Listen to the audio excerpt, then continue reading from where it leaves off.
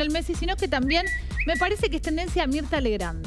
¿Por qué les digo esto? Porque resulta que la mamá de Lionel Messi, Celia, tu amiga, Ay, Celia, la amo.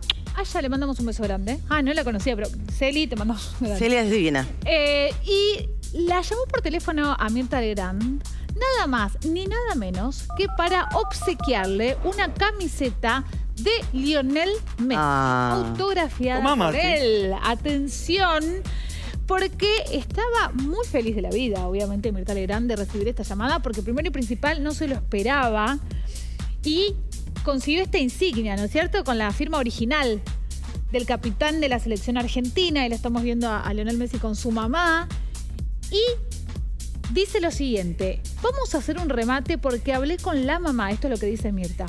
Ella me llamó para decirme que me admiraba mucho, no sé cómo consiguió mi número, yo encantada. Cuando me llama me dice, hola Mirta, soy la mamá de Messi, y yo creí que me tomaban el pelo, soy Celia.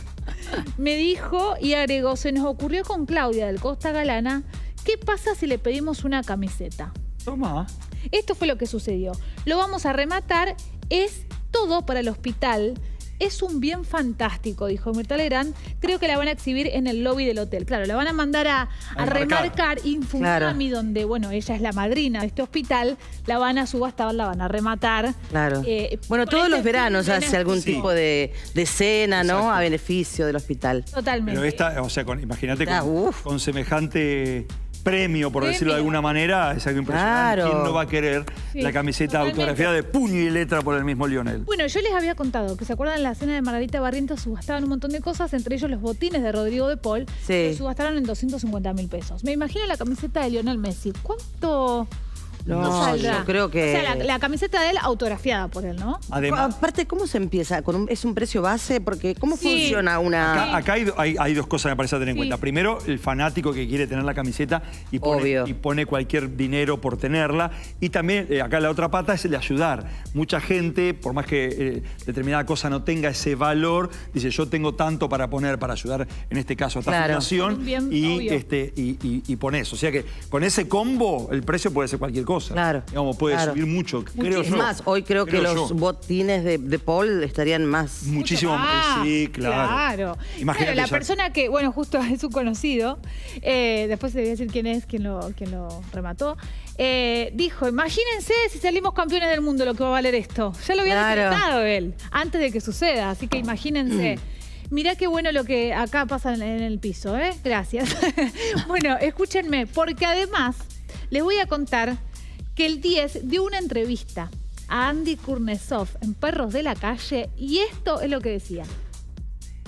Salió en, el momento? en el momento y sí que sabía todo lo que, lo que se habían comentado, lo que habían comentado antes de- del partido, lo que él había comentado, incluso eh, algunos de mis compañeros, sí, algunos de mis compañeros me decían, viste lo que dijo, viste a propósito, viste, lo viste a lo que declaró, qué sé yo. Y, y bueno, se nos poníamos 2 a 0 y, y después Después en el momento, me, o no en el momento, cuando termina todo eso, me, no me gusta, obviamente no me gusta eh, eso que hice, no me gusta el, lo que pasó después en El allá. en andar para allá y todo eso. Pero bueno, son momentos de, de mucha tensión, de mucho, de mucho nerviosismo y, y pasa todo muy rápido.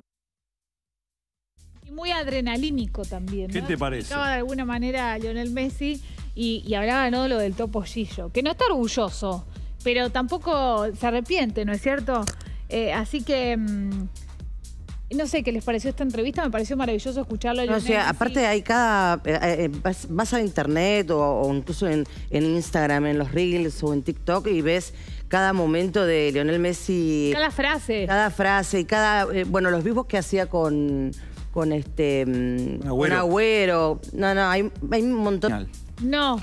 No volvió a ver el partido No. final. ¿Vos las viste cuántas? No, una sola vez. Completa, completa. Los goles los vi 200 mil veces. Cada vez que lo pasan no puedo no, No, no, no, no, sí, sí, Pero imposible. completa, completa, con adrenalina y todo, este, una sola vez. Aparte- Pero él no la, no la vio todavía. Claro, y además eh, hay muchos clips de todos los goles y de los abrazos y de cada reacción de cada jugador, con música. cámaras, sino los cientos y miles de celulares que estaban dentro Claro. de la cancha y que siguen apareciendo imágenes Es que decís, no ¿dónde viste de, estaban? de un ángulo totalmente diferente. Mirá este gol desde acá, Sí. mirá este desde allá. O sea que tenés- tenemos para ver por cuatro años hasta el próximo supuesto. Mundial. Y esto que decía Renata ayer estaba viendo los goles y se emocionaba. Y lloraba. Yo le digo, pero Reni ya pasó. ¿Viste? Pero Como- no, pero No, el pero te papá pasa- Y, y después de la produce eso. noche, mirá cómo todo tiene que ver con todo, porque a la noche apareció un grillo, no matamos grillos, nosotros no matamos nada. No que. No, los vuela, grillos no se nada, matan. Cuando los grillos no, por favor. Y, Puede y ser Pepe Grillo. estaba con un palito y le decía, dale, anda para allá, bobo. Anda pa-". Digo, ¿cómo quedó tan bien Esa frase. la frase de Messi Sí, de los claro. adolescentes? Y, y- y digo, me parece que, eh, que después de Maradona era medio complicado, ¿no? Que vuelva a aparecer una figura tan grande como la, como la es Messi. Y digo, para los adolescentes, el más grande del mundo, ¿no? No sé qué- Hoy en, Sí, día, hoy, en, sí. hoy en día sí, son dos cosas totalmente eh, diferentes. Lo tiempos que yo viví con, Diego también claro. fue, Fue- fue algo maravilloso. sí. Bueno, Sí. te hablábamos con Coppola. Con Guillermo. Con sí. Guillermo y Le mandamos un beso grande porque Enorme, nos enorme. agradece mucho la, la entrevista. entrevista. Nosotros, obviamente, lo que le dije, no, que- que- no, gracias. Gracias a vos. No, gracias, Gracias a a vos. vos. Anda Mucha, para allá. mucha repercusión por esa entrevista y quienes quieren volver a verla está en el canal de YouTube del canal de la ciudad. Ahí pueden encontrar la entrevista completa que hicimos con André a, a Guillermo Coppola, que la verdad que estuvo espectacular. Volviendo al tema que planteaba eh, Tamara, yo también me lo planteo con mi hijo, a veces me lo, me lo dice, no, pero él este es más que... Son dos cosas este, Diferentes. diferentes, son otras cosas. Ahora, eh, a, a Messi le impacta verse a él diciendo esa frase, porque no es su estilo.